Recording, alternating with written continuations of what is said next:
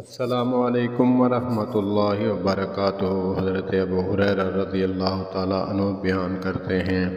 कि रसूलुल्लाह सल्लल्लाहु अलैहि वसल्लम ने इशाद फरमाया क़यामत के करीब ईमान मदीना में इस तरह सिमट आएगा जैसे सांप सिमट कर अपने बिल में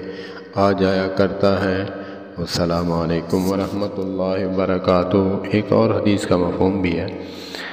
कि दज्जाल पूरी दुनिया पर जाएगा,